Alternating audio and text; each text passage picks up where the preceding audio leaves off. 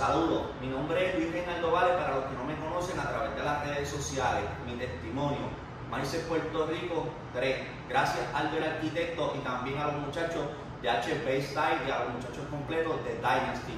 Mi testimonio es un testimonio de un joven emprendedor con muchas ganas de sembrar aquí en nuestra isla, en nuestra isla del encanto, exactamente de donde soy, del pueblo de Aguadilla. Confío en mi pueblo de Aguadilla, no he tenido la necesidad, como muchos de mis compañeros que han tenido que viajar fuera de Puerto Rico.